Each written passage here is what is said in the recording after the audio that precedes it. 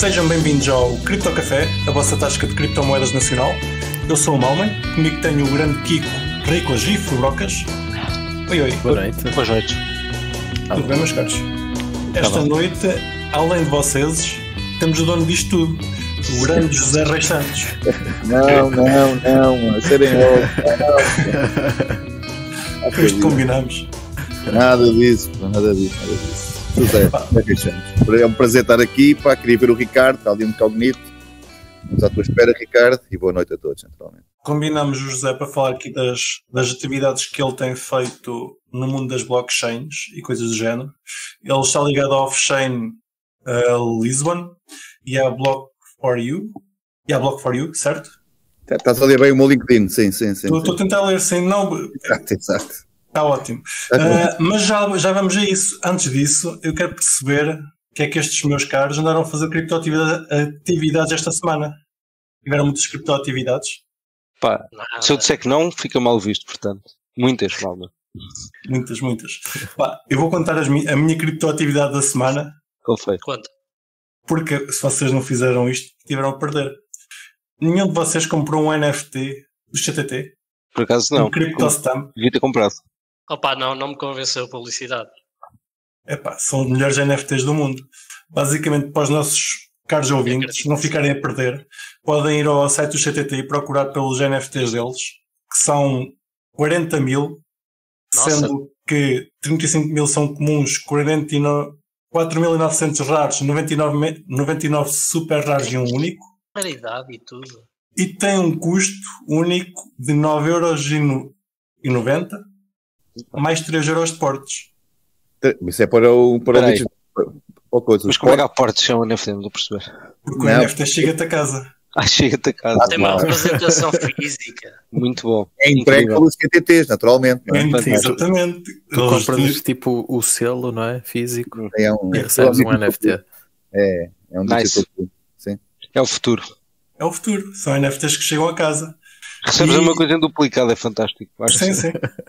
Posso agora mandar uma carta com o NFT, que é ótimo, não é? Não, mas podes fazer burn. Depois podes, fazer. o físico. Um burn. isqueiro. Pegas um isqueiro. Ou não, ou queimas o digital, mandas para o burn address, mandas para o 00. Yeah. Fica só para ver. físico. Exato. É. É dá. Este NFT tem a particularidade de dar para pagar com, adivinha Kiko, com o que é que isto está para pagar? Cartão de crédito, Ah. MBWay, PayPal, Multibanco, PayShop Monero. E dá para ir à cobrança. Não. Podem comprar e só pagam À depois. Ah. Sim, mas isso É. tens por em cima dos portos mais qualquer coisinha, não é? Vou escolher essa hipótese. ah, por acaso não, por acaso fico, fica na mesma aos 3 euros. Oh, excelente. que é engraçado. Ah, já, só, só para, para acrescentar, tu- estamos aqui a gozar com isto e com razão, porque tentamos conven- convencê-los a vir falar com, connosco e a apresentar-nos o projeto, mas o, o Joel respondeu que informa que poderá cons posso consultar todas as informações do CryptoStamp através do link e não mandou Obrigado, link João. Pela tua inutilidade, João. Esta mensagem E- é dedicada a ti, especialmente, João. Exatamente. Ao João do CTT. surja, não hesitem em contactar. Mas ele tem um canal do Discord, tu é que tens que o descobrir, pá. Epá, se calhar foi isso. Queria mandar o link do Discord e não mandou. Exato. Pronto, estamos a perder estamos a perder CryptoStamps.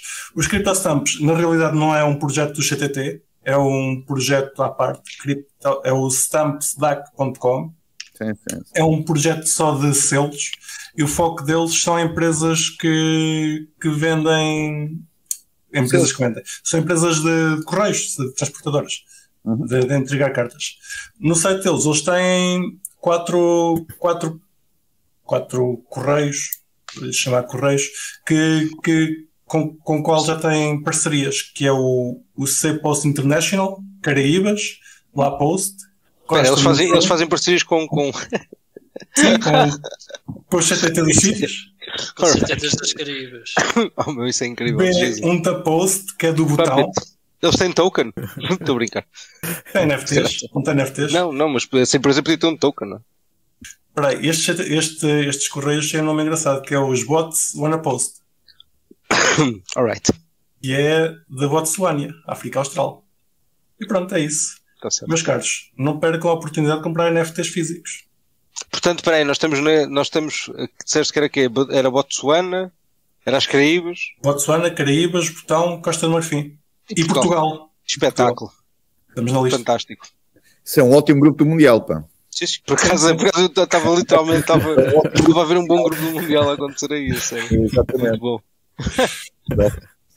Muito bom. Pronto, é isso. Eh, não tenho mais a acrescentar. Só achei, achei giro. Eh, eles têm um vídeo a explicar como é que funciona o Metamask. Eu, eu vou só dizer uma coisa. Eu, eu, eu, pá, eu fico triste o slogan. Eu não sei qual é o slogan deles, mas certamente não é este slogan que eu vou dizer. Eu estou triste por causa disso. Que é, o slogan devia ser: Queres um selo digital? O selo dá para ser tipo, percebes? Tem este Sim. duplo significado. Ora, o Zé, o slogan só de piada é um gajo, um gajo antigo, um gajo percebe logo, um gajo a sério. O selo, é um selo, antigo. eu não sei como é que estou agora, Ah, exatamente. Não é? Tipo, isto é uma- aquelas piadas tipo, pá, queres um selo digital? É mais antigo, não é? Tipo, mas tem piada. Eu se visse esse slogan eu comprava logo um NFT. Eu por acaso, por acaso traduzi o slogan do stampsdac.com e já me estava a esquecer. Querem, querem saber qual é que é? Não. Fazendo coleções de NFTs, selos originais, a partir de operadores postais com benefícios. Pá, slogan, primeiro isso não é um slogan, isso é uma frase inteira é ridículo. Pá, portanto, se tem mais de 5 palavras eu não, pá, não sei. Já não é um de rejeito. slogan. Não é um slogan. É uma frase É e o um rejeito. manifesto. É um manifesto, exato, obrigado. Kiko. Isso é um manifesto. Oh, oh Malman, pelo amor de Deus. Pá, É o que é. Meus o que é. Eu acho que deviam todos comprar um, um NFT do, do CTT, que isto um dia vai valer muito. Então, são 9,90€ mais, mais portos. Mas, mas isso compras a Real Fever. Não, mas tu compraste um, não é? Eu comprei um, estou à espera que chegue. Ah, então estás Ah, a fazer o pump do chegou. bag. Não, não, não. Ah, então calma. Não, Estás a mas fazer o pump quando? do bag que ainda não chegou. Mas a tu semana, o Rei trabalhar Azul, para o futuro. não. Tinhas a É opção verdade. de Rei Azul, em Verde. Não, não, manda vir à cobrança. Só, só para quando chegar. O NFT está em stake. Olha, cuidado se, o- se a CMVM não vai atrás. Exatamente. Opa, isso é que o CTT não tem nada a ver com isso. Falar tudo para o teu não é? São chineses, ou caralho. E já agora falando de criptoatividades, José, ó Zé, o que é que fizeste esta semana? Criptoatividades. Nos queres contar? Por acaso, vou-te ser honesto, olhei para essa coisa do CTT. A olhar para Pronto. isso. Afinal, não fui o único. Tenho um interesse genérico sobre o ecossistema. Aliás, estou a fazer um projeto para o levantamento, o mapeamento deste próprio ecossistema. Portanto, estive a trabalhar um pouco nisso e noutras, consulta, noutras eh, consultorias que tenho em andamento. Pá, e, enfim, à parte aqui das brincadeiras, eu acho, aliás, comecei um file sobre isto, estes tipo de benchmarks, acho que são institucionais, acho que são importantes para o ecossistema. O CTT, pá, pode estar bem ou mal, pode dizer que a empresa é A, B, podia ter feito com a prata da casa, pá, tens aqui o Fevereiro, pá, por exemplo, pá, que lhes oferecia naturalmente muito mais capacidade, provavelmente, do que aquela que foi agora entregue. Mas que é- Provavelmente. provavelmente. Provavelmente. Mas acho que, acho que é importante eles aparecerem na, no, Claro. no mercado. Acho Concordo. que é importante que a TVI tenha feito os, os NFTs, pá, acho que é importante que a TAP esteja a brincar ao metaverso. Portanto, acho importante que estes benchmarks comecem a aparecer para não sermos só nós, naturalmente. E, portanto, Acho- essa foi uma das minhas criptoatividades, foi, naturalmente, fazer algum, algum research básico, aliás, muito, muito além do que tu fizeste, ah, no sentido de perceber pronto, o que é que eles andam a fazer, com quem é que andam a fazer, qual é o impacto, qual é a estratégia, se é que tem, qual é a própria curadoria de conteúdos, que é uma, que é uma área que me preocupa bastante. Ou seja, não é só as dimensões tecnológicas, o vibe, o hype tecnológico em si, ou, as tais cinco wordzinhas que o, que o Pedro, que o, que o Febre estava aqui a falar, como é que nós comunicamos isto, é essencialmente como é que nós desenhamos ah, e curamos naturalmente dos próprios conteúdos em si. Portanto, Muito bem. também convido a seguirem esse projeto.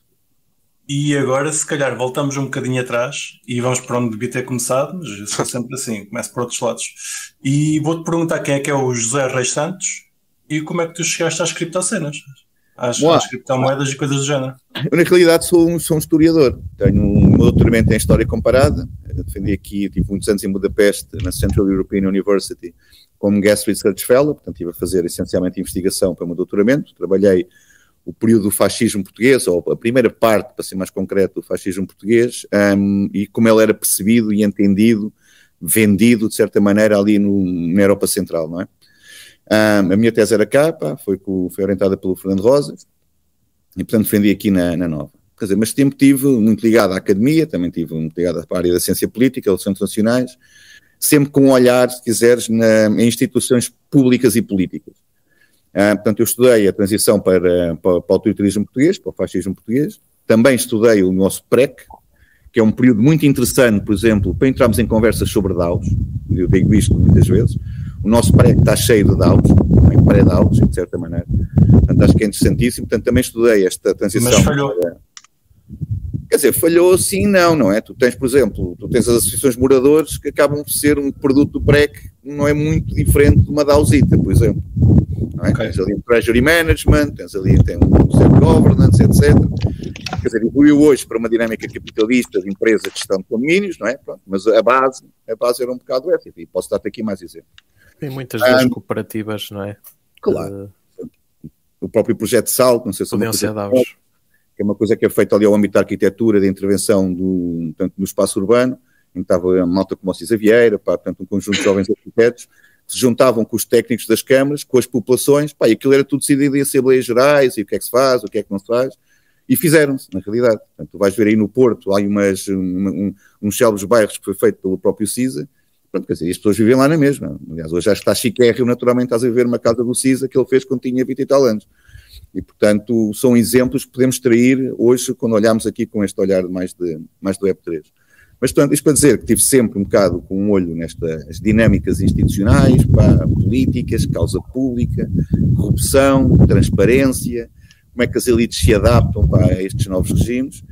E, pá, quando acabei o doutoramento e tive a pensar um bocado na vida, estava em Budapeste ainda, e, portanto, avanço com dois, primeiros, com, com dois sócios para um primeiro projeto, pá, que era um bocado uma, uma portable OTC. Portanto, conseguias fazer ali trading numa tablet. Essencialmente era, esse, era essa a sinopse, esse o pitch.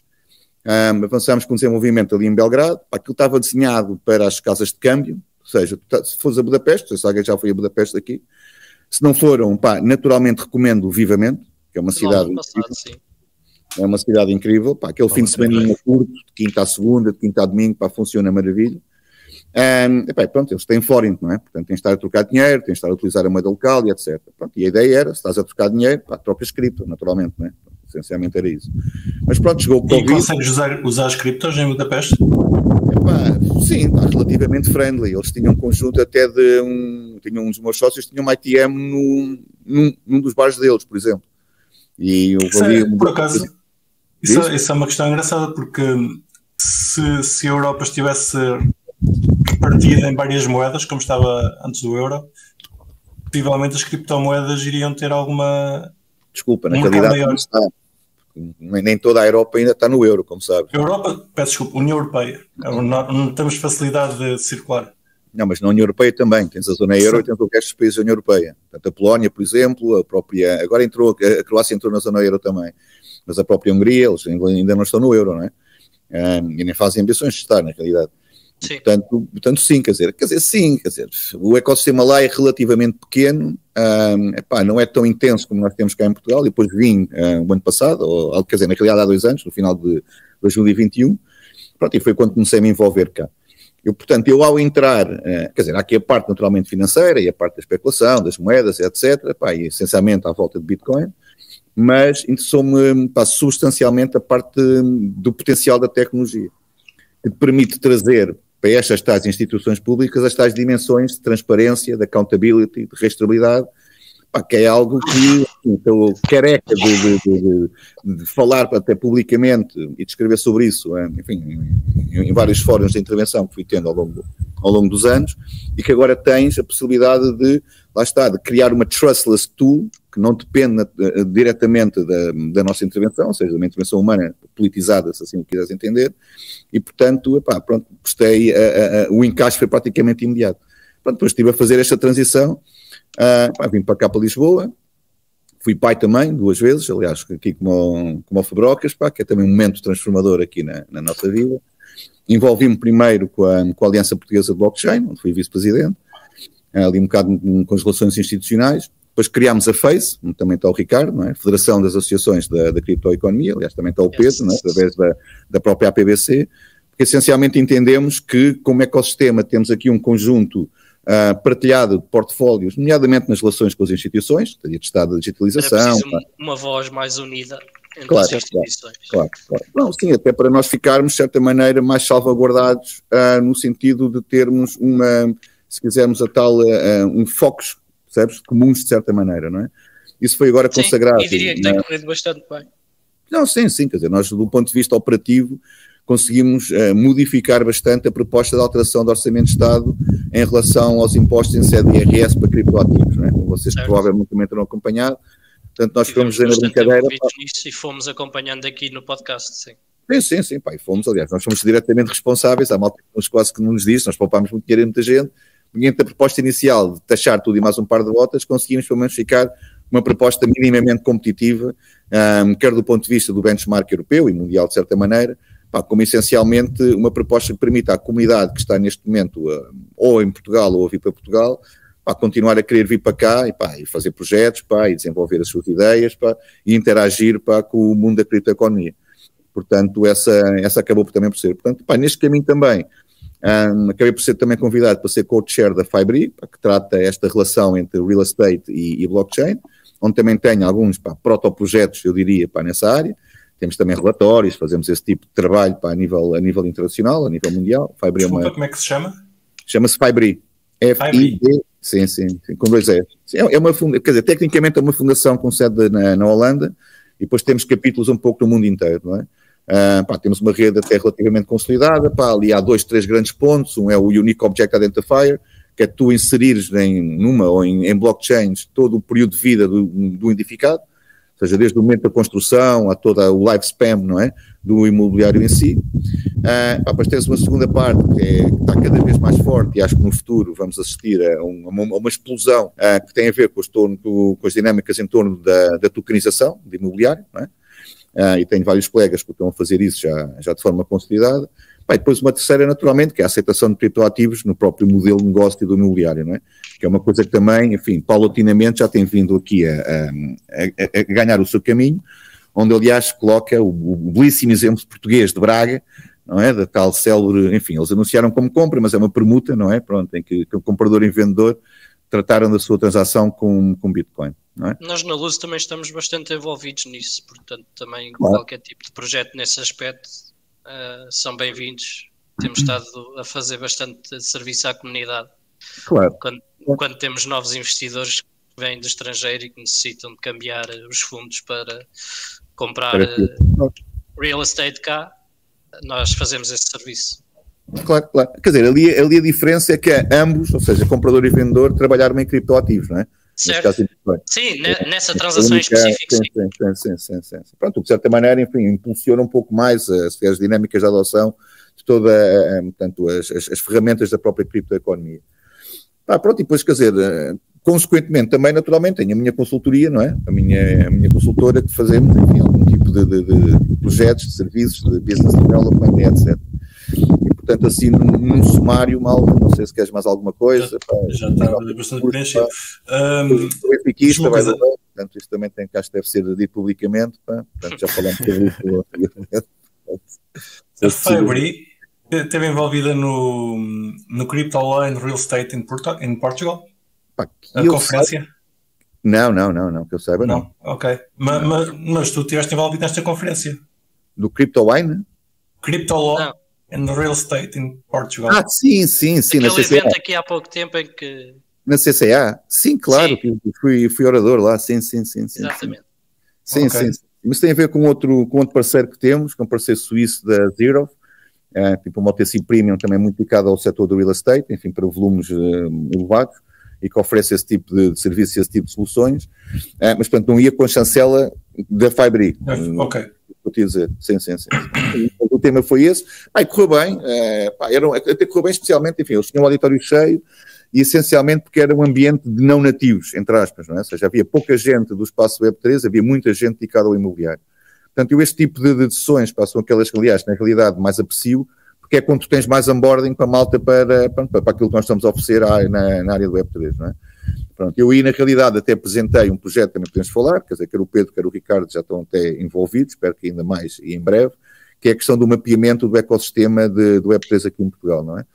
Portanto, eu lhe apresentei algumas propostas, uh, epá, quer dizer, meu, a minha leitura sobre o estado da arte atual, ou seja, o que é que justifica Portugal estar na, onde estamos, por um lado, uh, e depois, naturalmente, apresentar já algumas grelhas em que identifica as nossas ofertas universitárias, para, portanto, as nossas exchanges, um, as próprias associações que estamos aqui a falar, um, empresas de advogados, para sociedades de advogados que hoje em dia já têm muito uh, oferta neste tipo, neste tipo de áreas também. Uh, pronto, e, e agora a ideia é, é, fazer, do ponto de vista até metodológico, um, um levantamento epá, muito, muito se quiseres, concreto daquilo que de facto é o, é o ecossistema que está neste momento epá, quer dizer, a poluir de certa maneira o nosso país, não é? de norte a sul, devo dizer. Não é? Portanto, é uma coisa que não se verifica exclusivamente em Lisboa. Há muita gente em Braga, pá, há muita gente pá, no Porto, mais e mais, aliás, pá, pá, espalhados. Conheço malta da Lourinhã, pá, malta que está nos Algarves, pá, malta nas ilhas, pá, e portanto acho que é importante nós sabermos bem uh, epá, o, o que é que somos, não é? Ou seja, não necessariamente os portugueses têm startups e empresas cá registadas, então não falávamos com ninguém, uh, mas essencialmente as pessoas que operam no território português uh, nas suas diversas dimensões. Por exemplo, lá estávamos há pouco a falar em off com o Kiko, pá, como é que está o ecossistema do Monero aqui em Portugal, pá, portanto a ideia é também apanharmos um pouco aqui uh, o pessoal que cá está, não é? Pronto. Pá, depois... pegar nas comunidades e no, nas empresas, meter tudo num, num Fazer uma análise. É pá, sim, claro. Isto é... é que se pode ir. Não, pá, isto é importante. É diz isso. Por, não, por acaso, isso é um, é um trabalho que faz, faz bastante sentido e é, e é necessário, porque pá, eu, eu não tinha noção que trabalhava tanta gente em Portugal antes de iniciarmos o podcast e perceber que existe mesmo muita gente a trabalhar e a fazer coisas diferentes. E comunidades que às vezes estão, estão, estão mais despercebidas eu e o Kiko temos mais ou menos noção do que é que se passa com a comunidade Monero, mas tu, por exemplo, estás completamente à parte porque a comunidade está um bocado fechada em si e às tantas é preciso estas comunidades ficarem um bocado mais, mais abertas e darem-se a conhecer até para, para chegarmos mais pessoal. Mas isso é como te combinamos já. Eu simultaneamente também sou aqui co-founder do capítulo Lisboa da Off-Chain. Também me estavas a perguntar um pouco o que é que fazemos nessas matérias. Pá, fazemos essencialmente eventos para comunidades pá, com diversas linhas, entre aspas, não é? Portanto, nós agora, para dar um exemplo, nós começámos uma, uma, um conjunto de sessões que chamamos In Real Life Series. Ah, se, calhar, se calhar antes, de, antes de, disso, explica-nos o que é que é off-chain. Já percebi que não é uma coisa só portuguesa. Falamos sem off. É, off-chain é, quer dizer, essencialmente é, são estas dinâmicas de meetups e de community building, não é? Então, off-chain é off-chain global, portanto ela está espalhada e disseminada um pouco com capítulos no mundo inteiro, está muito ativa na zona da China, Hong Kong, a zona ali da, da Ásia, não é? do, do Extremo Oriente, cá na Europa talvez identificaria ali Paris, Berlim, Londres, talvez Milão também, Varsóvia de certa maneira, e cá, nós realmente até, enfim, enfim parece mal estar a falar um pouco sobre isto, mas pá, pelo menos os nossos colegas internacionais pá, estão sempre muito, não que estão, estão sempre muito atentos àquilo que nós estamos cá a fazer. Uh, até por várias razões. Para já, por, por um lado, acho que o que fazemos tem tido qualidade, pá, tem tido muito, uh, epá, até sequência. Fazemos muitos eventos, fazemos dois, três eventos, quatro eventos por, por, por mês. Um, o que para quem vem de fora é, é, estranho. É uma coisa que eu não sei se o Pedro pá, e o Ricardo têm vindo a entender isso. No outro dia tivemos também na abertura de mais um coworking para o Web3, um, no Civil Labs, aqui em Lisboa. Certo. Epá, eles estavam extremamente impressionados como é que 100 pessoas estavam lá para uma coisa do Web3 quando no dia anterior tínhamos tido seis eventos do Web3 em Lisboa. Um deles feito por nós, da Off-Chain, fizemos uma coisa sobre o CEF, que são de papéis, não é? da, da, da papelada, pá, deste tipo de, de enquadramento, que era pá, para nós tem interesse para a comunidade, muito por aquilo que estávamos a dizer, há muita malta estrangeira, muita malta non-EU que tem este tipo de preocupações, mas ainda agora com o anúncio da, da, da, do final do Golden Visa, pá, deste tipo de transformações, pá, nós tínhamos 50 pessoas no nosso evento. Era uma coisa absolutamente, entre aspas, banal, pá, que pronto, e, portanto, aquilo que me preocupa às vezes é o inverso, é saber o que é que se passa nos outros sítios. Portanto, eu perguntava aos tipos, de, aos suíços, então, mas ouve lá, se vocês organizarem lá um evento, vão o quê? Três gatos pingados? então, mas que raio de ecossistema é que vocês então têm para aí? Eu não sei como é que é em Barcelona, Kiko, podes, podes aqui, se quiser, dar aqui um, um rapport. Como é, que está, hum. como é que estão as dinâmicas do ecossistema aí? Diz lá, vá. As meetups onde tu vais, quantas pessoas é que lá estão? Não, não, Mil, não fui a muitos, mas, mas há alguns eventos e grandes uh, meetups uh, pá, que eu soubesse, não, não havia muitos, mas também não procurei, para ser honesto. Por acaso, Portugal está. Mas acredito que haja. E havia. Eu conheci alguns projetos que estavam cá, mas que entretanto saíram. Ok, ok. ok. Sabes porquê, não? Pá, eu acho que por causa do Bear, a malta foi procurar sítios okay. onde, pá, onde o nível de vida não é tão alto como aqui. Claro, claro. Faz sentido. Que muitos recebem em cripto, não é? Sim, sim, sim, sim, sim. Ou têm grande parte das suas pá, poupanças em cripto. Inconvenientes. uh, falando de eventos, uh, por acaso Portugal está tá repleto e, e eventos até com, com alguma atração. Uh, o último que eu fui, acho que foi dos maximalistas no Porto, e estavam lá que 20 pessoas para o primeiro evento. Okay. Não, não foi nada, pá, pá, achei, achei, achei excelente para um primeiro evento. Descobri que em Coimbra agora também volta e meia já se juntam. Uh, se calhar é, é, uma comunidade que está a crescer. E pá, Lisboa e Porto está, está sempre com alguma coisa a acontecer. Temos feito aqui um, um esforço para tentar publicitar uh, o que é que tem acontecido. Eu acho que um, se calhar o, o Zé é a pessoa ideal para nos dizer onde é que a gente procura os eventos para, para publicitar aos nossos queridos ouvintes. Na realidade, são todos no evento Bright. É, vai tudo para evento Bright, não é? Para Bright, sim, sim, sim. Ah, com raríssimas exceções, está tudo no evento. Eu estou a falar dos meetups, naturalmente, não é? Sim, sim, sim. Tens agora, pá, em breve, o que é que vai haver? Tens a NFC, um, de Non-Fungible Conference, vais ter uma que é Epic, também acho que vai ter interessante. Há uma que está ali a fazer, pá, mas enfim, não, ainda não estou a perceber bem que tipo de. de também estou-se a apresentar como sempre uma coisa muito grande, pá, mas ainda estou um bocado para put my finger on it. Pá, depois tens a Silly Season, não é? Com o PanierCon, com o FileCon, com o It Lisbon, com o Web Summit, quer dizer, depois a partir de setembro, outubro é. Pá, é, é, é uma desgraça. É, pá, não, é mesmo uma desgraça. Portanto, aqui acho que não tanto. Lá está, quer dizer, é um pouco. Por isso é que eu acho que esta questão do mapeamento é importante para, pá, para termos números, sabes? Porque estes números são aqueles que nós vamos usar depois com as instituições. Era um pouco o que eu estava a falar a, a, a, quando, quando começámos a nossa conversa com a questão destes tais benchmarks, não é? destes flagship projects. Portanto, é importante que esta malta comece a olhar para nós com, com, com, se quiseres, pá, com, munidos de, de, de, de uma informação uh, bem trabalhada, pá, que possam dizer que já são milhares de pessoas que estão a trabalhar em Portugal uh, em Web3 com um alto valor acrescentado pá, pronto, e com potencial de crescimento no futuro brutal, pá, e comecem a olhar para nós, pá, pelo menos não, não, não nos cortem as contas bancárias, não é, Ricardo? Uh, Sim. Exato. Nos deixem trabalhar. Deixem-nos trabalhar. trabalhar. Claro, não, mas, mas isso estavas a falar de, de, de Barcelona. Eu, o que eu sinto é que Lisboa não fica nada atrás e muito provavelmente tem muito mais eventos do que, do que Barcelona tem. Barcelona se calhar tem alguns maiores, mas acontecem tipo duas vezes por ano ou três. Uh, mas depois, assim, com a regularidade que Lisboa tem, eu acho que neste momento Lisboa, na Europa. Neste, Lisboa, neste momento, tem pelo menos dois meets semanais em dias diferentes. Dois meets não, me recordo, não me recordo agora do nome deles, mas uh, lá no evento tipo, estão... na Europa, se calhar em Londres ou em Berlim, é? ainda deves ter mais atividade que Lisboa, mas não sei se Lisboa há de ficar também muito atrás, muito mais ah. atrás do que isso. Não é? Oh, Malman, eu digo já, temos nós off-chain, tens a Chili Banks, tens a D-Nights, tens a Crypto Mondays, uh, tens a Web3Go, que é a malta também ucraniana, tens agora os miúdos novos pá, do Based in Lisbon, também fazem eventos, uh, e acho que tens a Web3 Lab, também está a fazer eventos, com a Maria, só assim de cabeça. Sim, é muita, muita coisa a acontecer. Nós temos que falar uh, entre nós naquela para não haver estes overlappings, pá, mas... E, e quais é que são os melhores? Já agora, diz-nos lá. Epá, vais escrever um pouco. Esse overlapping é que convém trabalhar nisso. Uh... Estava a dar o modo para dizer que era. Que era um, uh, bloco... Sim, tens que dizer que é off-chain. Um, uma coisa que eu se calhar queria aqui refutar é que uh, a maior parte destes eventos são em inglês, apesar de, de haver sempre português, não é? Nós temos, na realidade, vou dar por um exemplo. Geralmente, uh, e mesmo assim também não é verdade, pá, porque eu diria que fora de Lisboa é capaz de ser mais fácil ter eventos em português, em, em, em, em algumas eventos universitárias, etc. Pá, cá em Lisboa é diferente, é, é, é difícil porque de facto a, a audiência. A comunidade internacional é muito. É, muito internacional, lá está. Pá, é mesmo muito internacional. Ou o orador, por exemplo, esta CCA, um dos oradores era inglês, inglês e francês, portanto, naturalmente ele não, não fala português, está a endereçar a plateia um, em, em, inglês, não é?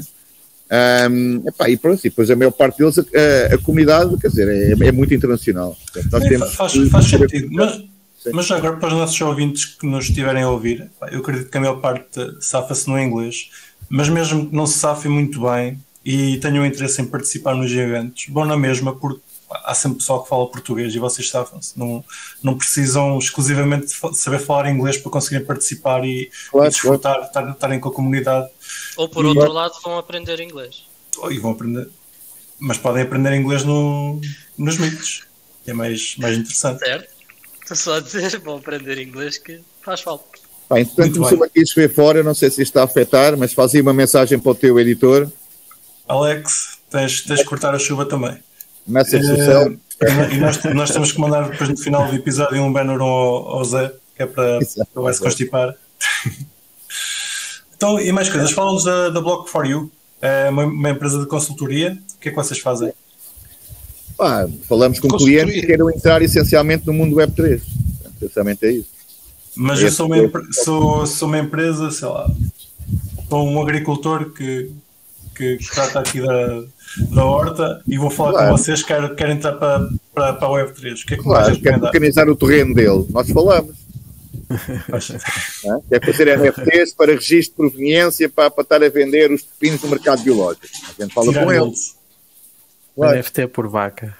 Sim mas não de uma dinâmica técnica, quer dizer, essa é que é, como disse há pouco, quer dizer, full disclaimer, sou historiador, sou um cientista social, não é? Portanto, a mim preocupam as relações institucionais e preocupam uh, todas as estratégias de adoção das ferramentas Web3 hoje em dia ao dispor e aquelas que estão a ser desenvolvidas.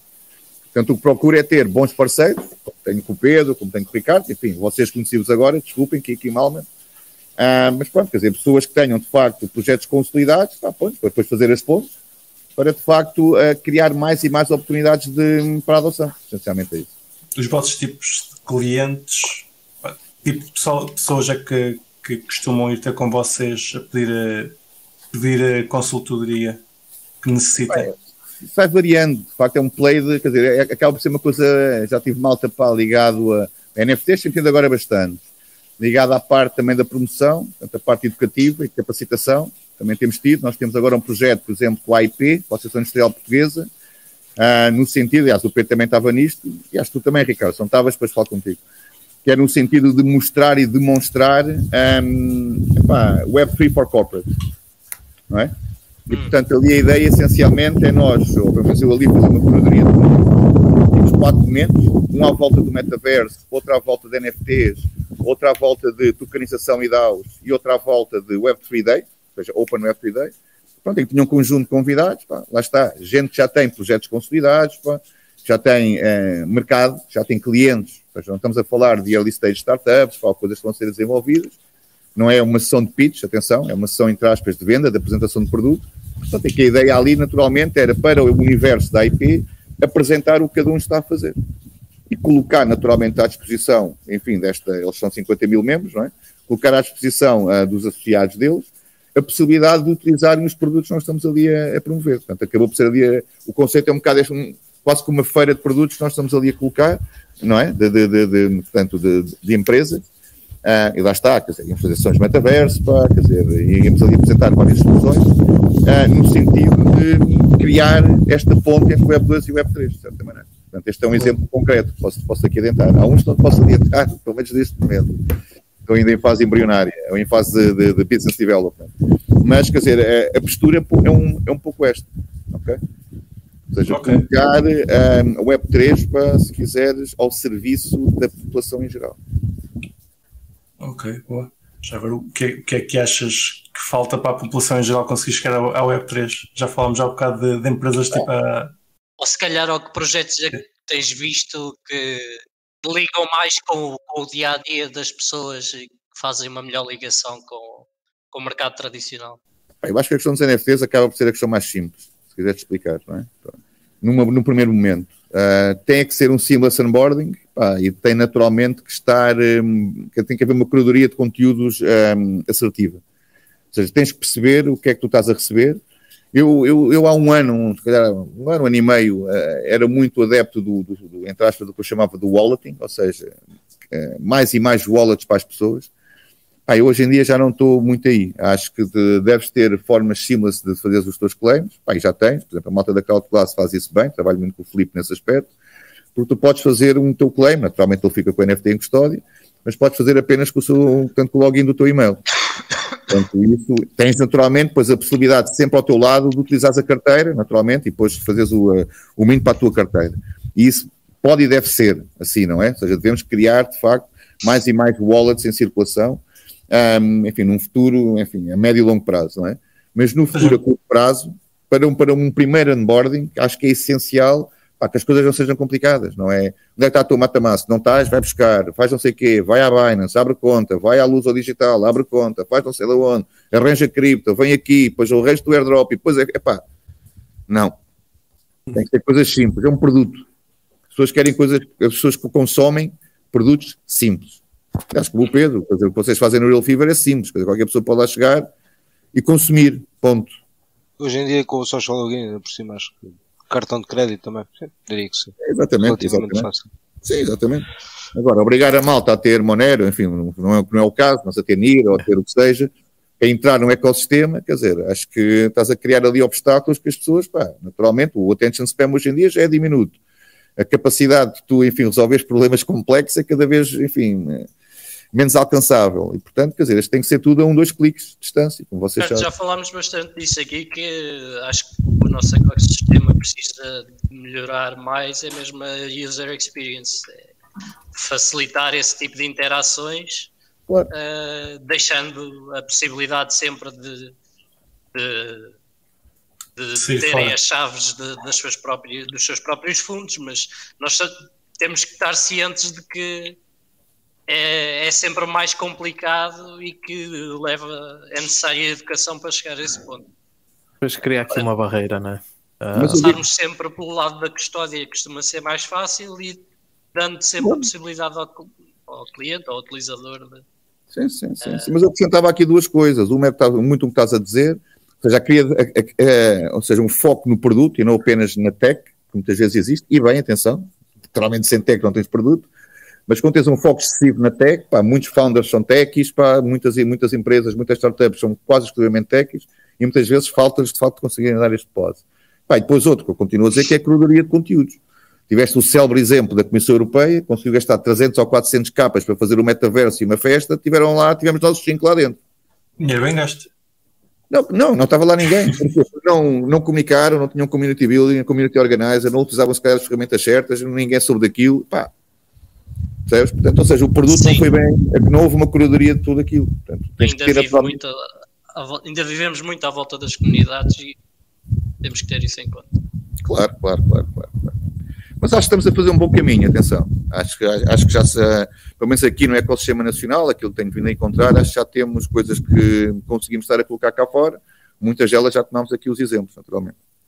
Sim, mas às vezes uh, acho que os projetos são um bocado presos entre os dois mundos, não é? Uh, querem, ter, querem ser a Web3, mas isso tem trade-offs, não é? E alguns eram os que estavas a dizer, é preciso adquirir o token, é preciso instalar a wallet, é preciso ter keys e não sei o quê.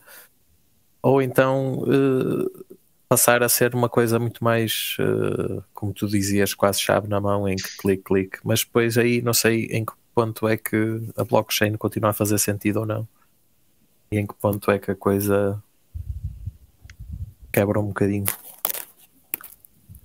Quebra a essência. Para uma coisa, basta pensar que nas, nas transformações. Não, não, porque a questão é que, tu, imagina, quando estás a dizer a questão do ah, tens que instalar a Metamask, tens que fazer custódia, tens que não sei o quê, uhum. Pá, é verdade, é chato, mas quando tiras isso, o que fica é uma, um eBay, uma Amazon, uma PayPal, uma. Uh, percebes? Uh, Sim, há um não ponto, há um ponto, percebes? Aqui é preciso ter algum cuidado, porque senão a alternativa é um bocado aquilo que já existia, percebes? E, e isso é Web 2 e pá, isso já existe e já está feito. E... Está bem, mas tu estás a criar isto em infraestruturas do Web 3. Podem não estar totalmente ativadas, são duas coisas diferentes. E, e, e deixa-me também chamar-te a atenção do seguinte. Pronto, porque é isso, eu, é, era isso que eu estava a dizer. Nós estamos aqui meio termo em que. Nem a carne nem a peixe. Pois, nem é Web 2, nem é Web 3, está um bocado mais ou menos no. Não é? As questões estão assim mais ou menos com o pé nas duas. Mas para uma coisa, olha para isto do ponto de vista histórico e olha para outras disrupções tecnológicas que tu tiveste nos últimos 100, 150 anos. Quando apareceu o carro, sabes com, os carros, sabes quando é que aparecem, não é? No final do século XIX, não é? Começam a umas coisas e tal, a moto começa-se a mexer. Sabes quando é que chegaram as primeiras leis, cartas de condução? Sim, imagina. 1930, 40? 1930, 40, exatamente. Tiveste 30 anos para a malta pensar: olha, continua de cavalo, mas há aqui gasto de carro, agora vou meter mais no carro, agora vou atravessar a estrada desta maneira, etc, etc, etc. Ou seja, tiveste momentos em que a disrupção assusta, pá, tens, tens, tens, tens clusters nativos daquela própria tecnologia que estão a utilizá-la, como tu tens também aqui no Web3, tens partes híbridas, não é? Em que a malta vai de um lado para o outro, é? Destas, destas próprias disrupções tecnológicas e, pá, depois tens uma adoção massiva. Mas isto é um, é um, é um processo gradual não é um processo revolucionário, para usar há bocado aqui as, a, a, as nossas, a, a, terminologia do PREC. Isto não é um processo revolucionário em curso. Isto é um processo evolutivo em curso, de certa maneira. Por isso é que é importante nós sabermos o que é que estamos a fazer, os parceiros que nós nos relacionamos, que nos apresentamos, exatamente para tu saberes fazer esse filtro. Porque o tipo que vais apresentar que possa ter o NFT em custódia é um tipo que consegues validar não só pela parte tecnológica e pela arquitetura que ele está a construir por trás, todas as possibilidades que ele te dá para entrar em Web3, com a tua MetaMask, com qualquer outra wallet, percebes? Mas também é um tipo que tu sabes que vai perdurar, pá, pelo menos, enfim, no futuro próximo, o projeto que ele está a ter procurar desenvolver. E não é ali um rug pull qualquer ali à espera de uma, de uma esquina marota, percebes? Mas isso, a responsabilidade também é nossa, do ecossistema, atenção. Nós sabermos nos apresentar, pá, construir, pá, lá está, desculpa estar outra vez a chamar-te aqui, eh, Pedro, eh, mas pronto, o que vocês estão a fazer na Real Fever é muito isso Pá, eu diria que, pelo menos a minha visão, é um bocadinho dar a escolha, ou seja, um, pá, eu vou sempre utilizar o nosso sistema com MetaMask, não é? Não, pá, não, não me preocupo claro. com logins, mas concordo que pá, mas é, é, é possível usar sem MetaMask? Pá, até certo ponto é, não é? Até certo ponto é, tu consegues, tu consegues, uh, consegues, consegues fazer compra sem MetaMask? Sim, tu consegues, sim, okay. tu consegues fazer a compra, um, yeah, tu consegues fazer, consegues fazer compra de tokens, consegues fazer, um, pá, praticamente o processo todo, não digo todo, obviamente, mas consegues fazer uma grande parte do processo um, pá, já, já, já sem conhecer mesmo cripto.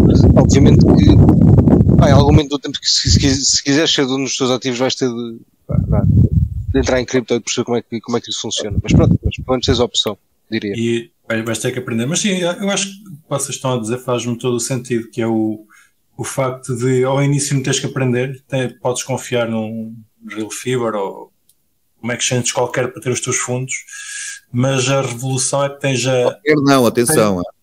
Temos aqui o ah, Ricardo, qualquer. qualquer. Epá, eu deixo tudo na luz, não sei que, como é que vocês deixam os vossos fundos, eu tenho os meus fundos na luz. Não, mas, também, desculpa, acaba. Não, queria só dizer que a, a, a, revolução aqui é que temos a opção de ter a nossa posse.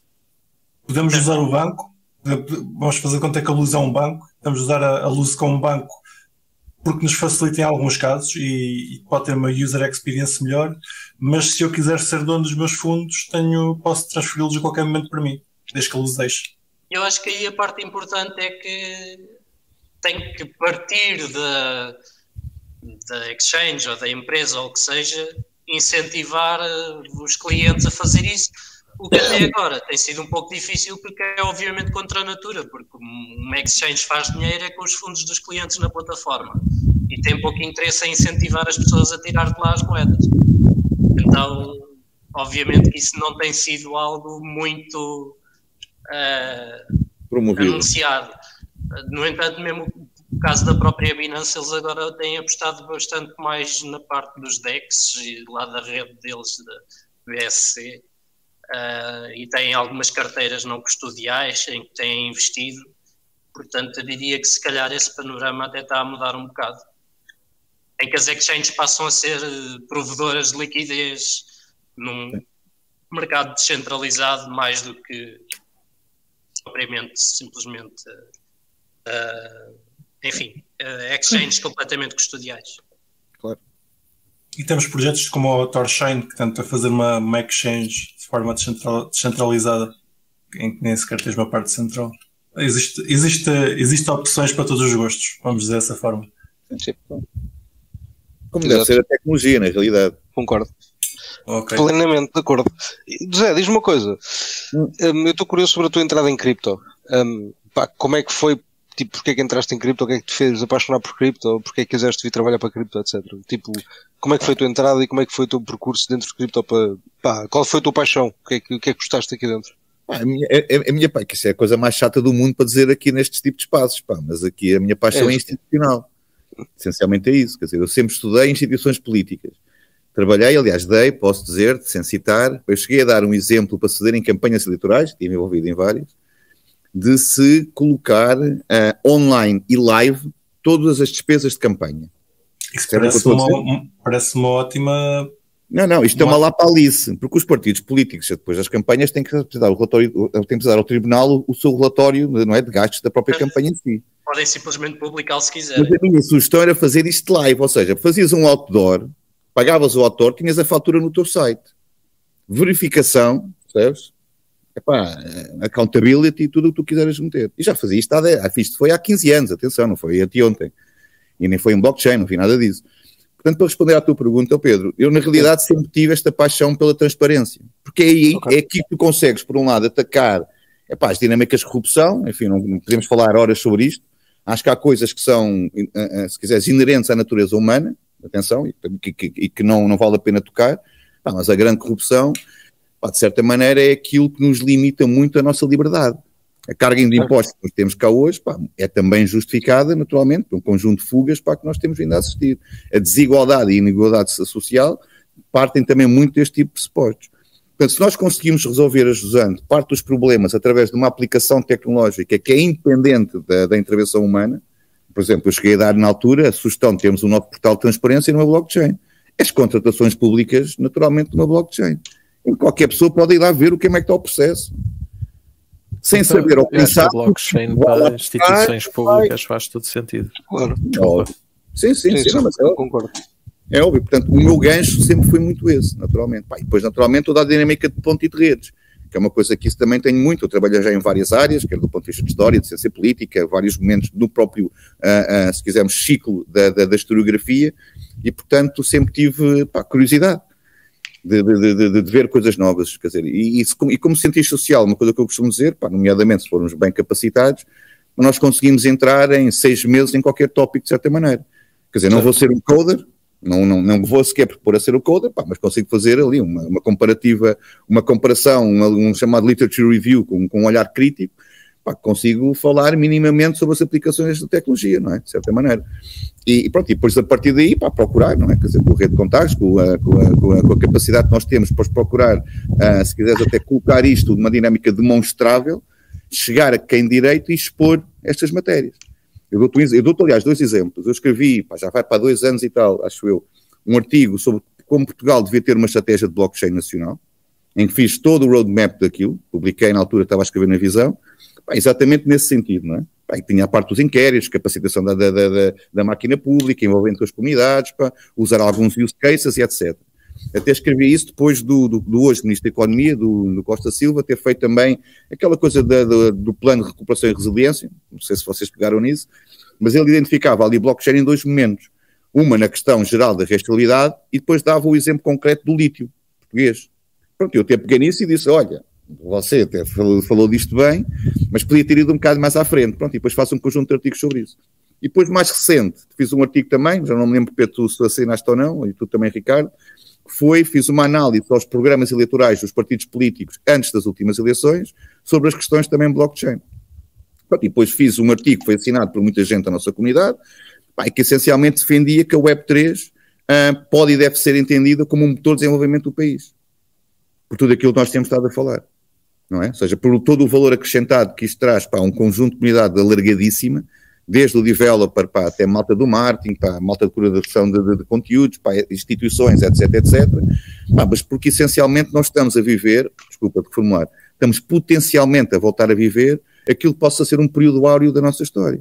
Ainda hoje estava a ter uma conversa também, em que estávamos a identificar exatamente como nós há 500 anos transformámos Lisboa, Portugal, no centro do mundo. Lisboa, na altura, não sei se vocês têm noção disto, nós éramos a primeira cidade multicultural, cosmopolita, de, de alcance mundial, é Lisboa. No século XV, no século XVI. E que vem.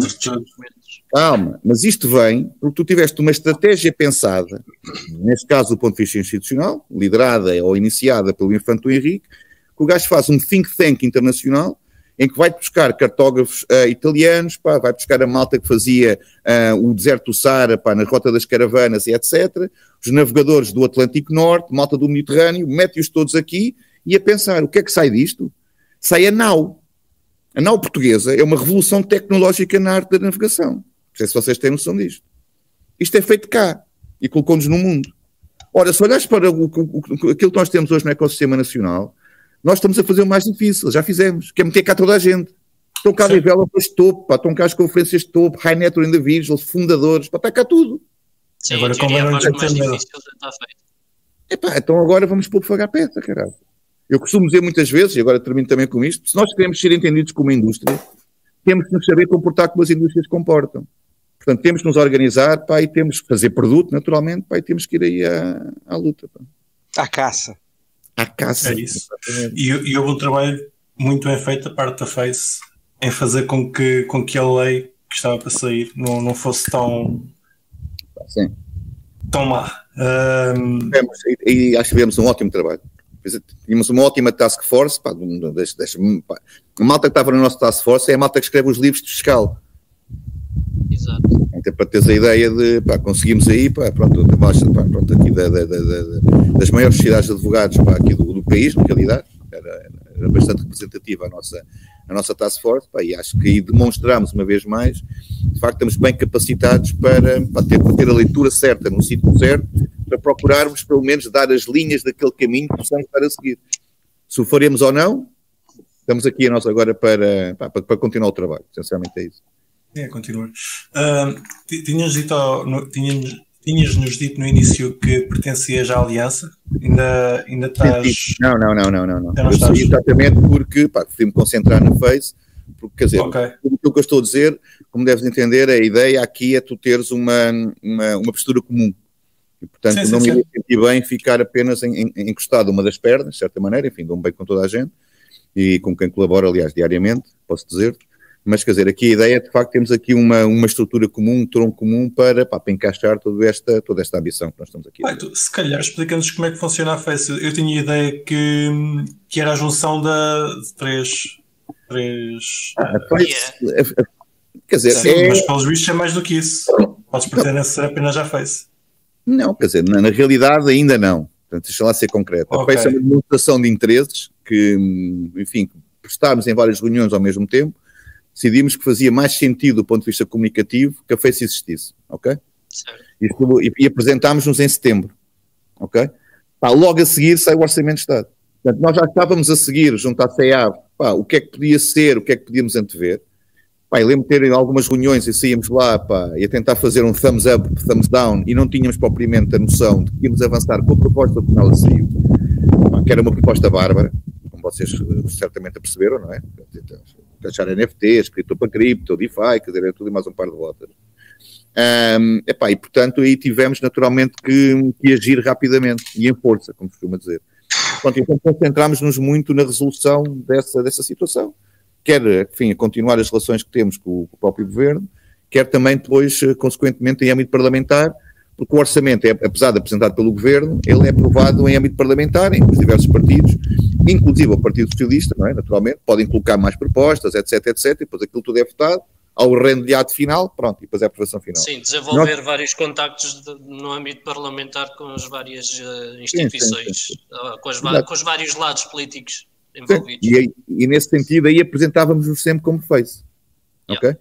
Pronto. Agora, falta decidir o que é que iremos estar a fazer. Nós estamos, às vezes, costumamos dizer, estamos em fase de pré-DAO. Portanto, estamos aqui um bocado. A ambição continua lá.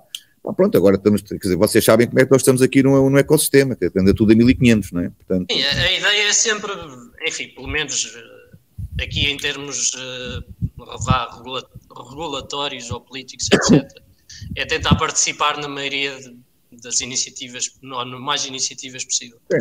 Sim, sim. Uh, é esse o objetivo. Também já, já tivemos uma participação conjunta em, diplomas do Banco de Portugal.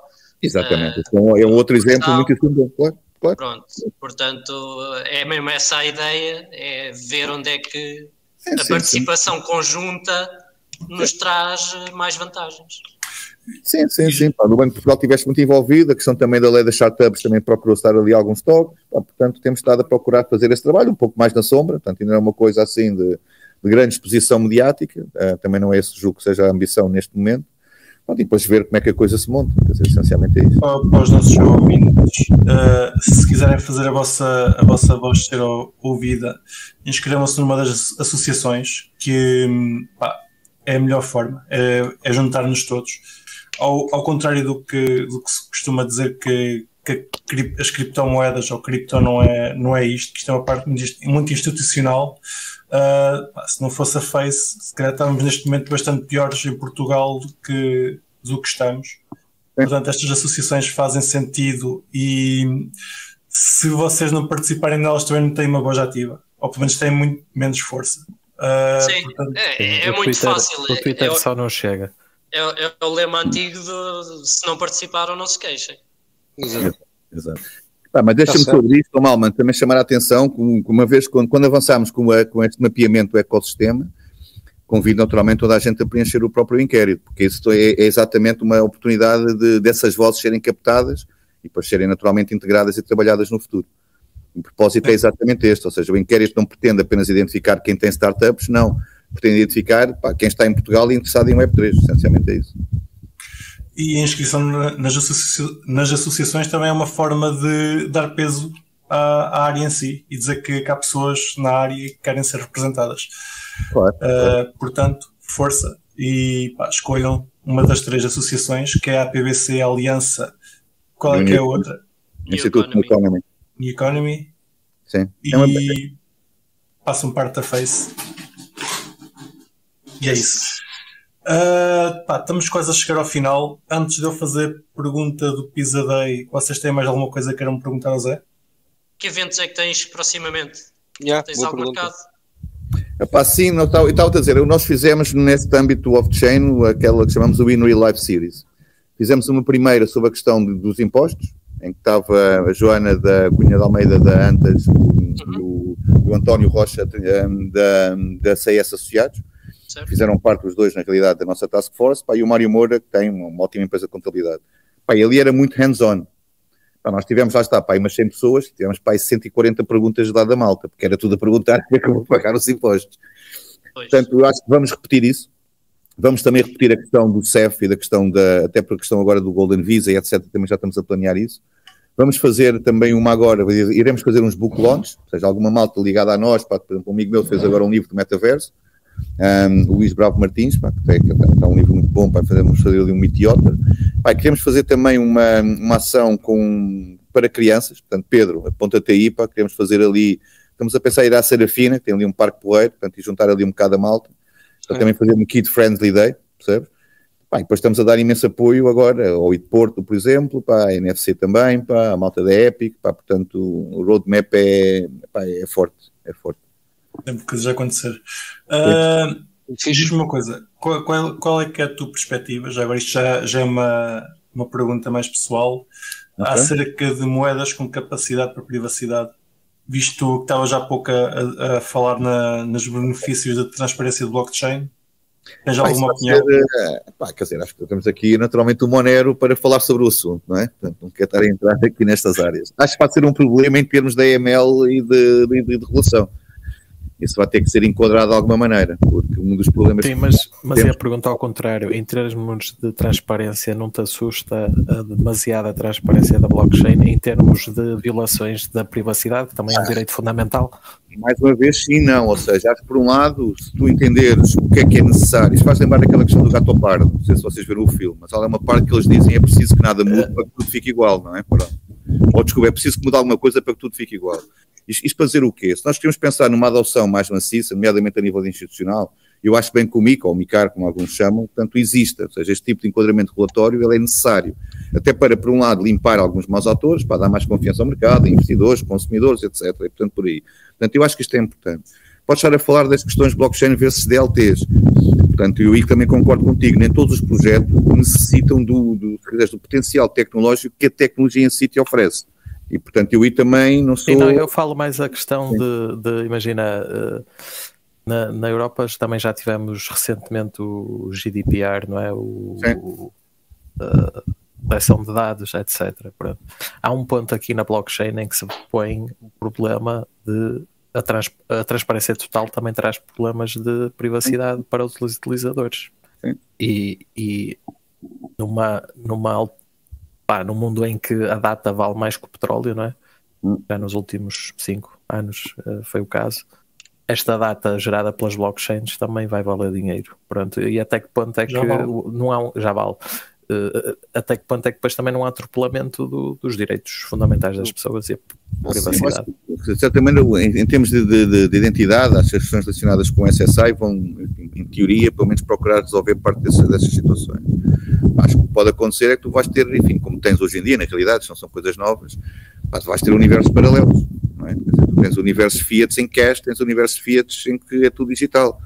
Isso vai-te acontecer. Se calhar eh, em algumas geografias, algumas jurisprudências, com algumas exchanges, se calhar tens de fazer uma demonstração total, por exemplo, da proveniência das tuas moedas. Mas talvez possas já não o ter de utilizar. Não sei se a tua pergunta é no sentido de que tipo de enquadramento regulatório deve haver, por exemplo, para casos como a Monero, ou como é que eles vão ser pensados no futuro, ou se eles vão ter espaço para a existência. Espaço para a existência é que acho que vão ter sempre de certa maneira. Sim, Agora, sim. a parte do enquadramento relatório, pá, não sei. Então, honestamente, é uma questão de, de, ver como é que nós evoluímos. Há, há duas coisas sobre isso que queria chamar a atenção. A primeira, e o MICA é, um, é, acaba por ser um bocado o reflete disso, pelo menos no espaço europeu, as dinâmicas relatórias são lentas. Não é? O MICA é uma fotografia de 2017, como vocês sabem. Não é? Portanto, conseguimos chegar agora a acordos passado 4, 5 anos. O que por um lado é bom, porque significa que tens de ter algum tempo até de um olhar mais maduro para aquilo que possam ser as potenciais implicações tecnológicas, no sentido de depois, enfim, criar e formar os enquadramentos regulatórios necessários. Não, mas por outro lado, quer dizer, o MICA chega agora e não tens nada de DeFi, os NFTs, a tecnologia depois dá outro salto de certa maneira. Um, e portanto eu não acho mal que, que, que tenhamos que ter este tempo, de certa maneira. Pá, por outro lado, é a tal, eh, eu, eu ponho a responsabilidade também do nosso lado. Ou seja, do lado do ecossistema, é na forma como consegue criar as pontes de diálogo necessárias com as instituições, por um lado, para as capacitar, para entenderem até a tua linguagem quando as abordas, ok? E depois, por outro lado, também ajudá-los, naturalmente, nesta mesma capacitação regulatória, para que possam considerar exatamente as questões que tu agora colocaste. Não sei se não sei se me fiz entender. Kiko, ficaste sim, mais sim. Sim, sim, não, não, não, não, não. Uh, a minha questão era mais noutro sentido, mas, mas lá está. Eu acho que é... não, acabaste por não responder à pergunta do Kiko, sinceramente. Mas era o objetivo era esse, claro. O objetivo era esse, claro, ir à volta. Não direto, não sou regulador, quer dizer, não sou propriamente. Portanto, é uma, é uma questão mais apreciativa, de certa maneira. Percebes? Acho que é um caminho que, se quiseres, põe de outra maneira. Da mesma forma como o Mica portanto, vai de 17 e chegou agora, nós, se calhar, neste momento, estamos a abrir a porta para as questões que estás a colocar para termos 3, 4 anos até as conseguirmos enquadrar do ponto de vista relatório. Percebeste agora? Sim, sim, sim. Pronto. Respondi ou não? Continuei sem. Epá, comprem todos Monero, que é para, eles não conseguirem banir, por favor. E para o preço subir, que eu quero vender. Uh, Zé, falas do teu Pizza Day. A primeira vez que gastaste Bitcoin ou alguma coisa, ou alguma coisa, ou, alguma cripto em algo para teu usufruto. Tens? Ou, ou, é só comprar para, para guardar para sempre? Como a maior parte pagar a renda. Pagar a renda, naturalmente. Pagas a renda em cripto? Não, paga, não paga a renda em cripto, mas já troquei cripto para pagar a renda, se é estás a querer dizer, por exemplo. não, mas uso direto. Existe? Pegas é. em cripto e dás a alguém, troca de um produto ou um serviço. Epá, na China fiz algumas coisas dessas. Estão a tentar lembrar o quê, caraças, meu? Acho que trouxe lá umas merdas. O que é que eu trouxe de lá, meu? Não era os pandas, meu. Mas sim, mas cá é raro. Se me estás a perguntar em âmbito europeu. Não, não primeira vez que, que, te, que te lembrasses de, de fazer. For. Não, não marcou. Ah, mas comprar pandas com cripto é brutal. Uh, Tenho usado também numa consultoria há muitos anos e era isso. Eles pagaram-nos em Ethereum na altura pá, e usámos lá em qualquer merda. Já não me lembro. Fuck. Pá, isto do Covid não dá a cabo de um gajo. Não. Já passou. ok, olha, obrigado por, por ter estado connosco. Tenho só uma pergunta para fazer que é pá, até para a semana que vem o BTC vai subir ou vai, ou vai cair? Para saber como é que é que faço. Vai subir. Os nossos ouvintes. Vai subir. Pá, pessoal, comprem todos, uh, comprem todos Bitcoin que, que Isso é financial advising, portanto, disclaimer, etc, etc. Olha, obrigado por ter estado connosco. O gráfico ele acabou de descer, por isso capaz de ter razão. Vai subir, sim. Vai, vai, subir. Vai subir. Olha, obrigado por ter estado connosco. Uh, pá, pessoal vai, vai ficar com, com, os links na descrição para te seguir e acompanhar os teus projetos. É. Eventos, uh, temos para a semana o ETH Porto. Uh, o Cripto Café vai estar lá a 75%, o Zé a partida também vai estar. Portanto, 4, 4 quintos do pessoal que está neste podcast vai estar no, no Cripto Café, só uma vez não. Apareçam no. Vai estar no Cripto Café? Não, vai estar no, no Cripto Café, não, no ETH Porto. E está no, está no Cripto Café. Uh, portanto, apareçam por lá e paguem-nos um copo nós agradecemos. ou dois, se quiserem dois ou três. Exatamente. Uh, e para eventos, vão ao Eventbrite que o Offchain tem por lá muita coisa. Está tudo. Sim, sim, sim. sim. É, o, é o ETH Agora é, é, ao, ao Cripto Café. Exatamente. E de Porto é que é, que é a concentração de esforços. Vamos lá todos. Uh, um agradecimento ao nosso podcast que o Zé, pá, por uh, coincidências da vida está, está a gravar no meio do furacão. Vocês já ouviram uns ventos durante a gravação, mas pá, isto está, está, está horrível. O, o, o, Alex conseguiu eliminar aqui bastante do, do som. Uh, se tiverem a pensar em fazer um podcast, se tiverem um podcast e precisarem de edição de áudio, podem falar com ele que ele aceita cripto. É isso. Obrigado, pessoal. O vosso episódio. E até para a semana. Exatamente. Tá bem. Obrigado. Um abraço a todos. Tchau, tchau. Obrigado, Zé. Fiquem bem, fiquem bem. E não se esqueçam de nos seguir na vossa plataforma favorita, seja ela qualquer podcatcher, Spotify, YouTube ou Library. Entrem na nossa comunidade crescente no Telegram ou sigam-nos no Twitter em CryptoCafépt e partilhem este episódio com os vossos amigos. Até para a semana!